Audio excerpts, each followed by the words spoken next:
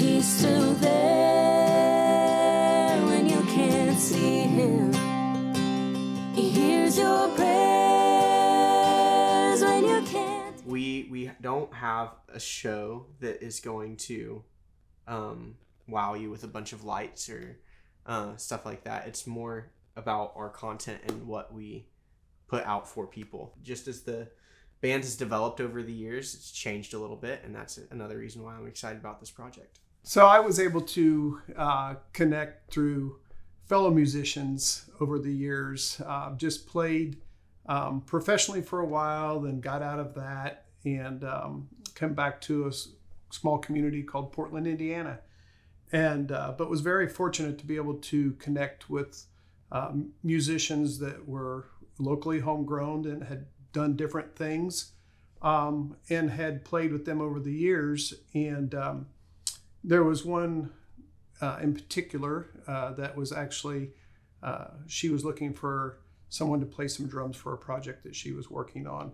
And there was some relationships there that we had um, and got to do that project.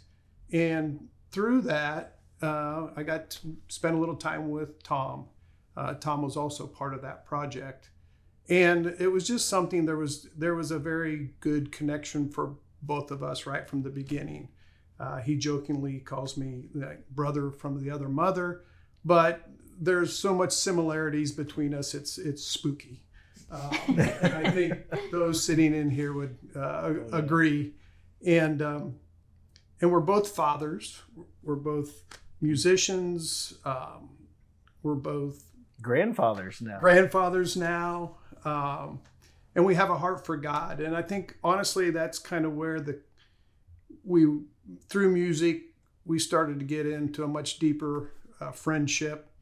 Um, you know we've had our our challenges and our marriages and our kids and all that stuff. And if you want to get to know someone well you stick them in a van with three young children and you travel across the united states. And um, you get down to being real. So that's how I've become part of this group. Um, it's been a tremendous joy. There's times that I get to be up with the kids late at night when we're traveling down the road, or then I'm sitting there with Tom down the road. So I was stuck in the middle, I think, a lot.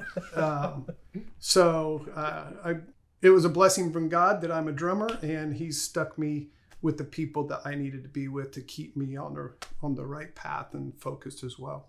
And funny story about Eric. I knew that I knew that he was part of the family, not just the band, but the family. When I was sleeping in the back seat of the van one night, and that's when my wife was still traveling with us, and it was me and Johnny and his sisters, and and my wife Lisa and Eric, and Lisa's driving and Eric's co-piloting, and I wake up to them arguing. Still there when you can't see him. He hears your prayers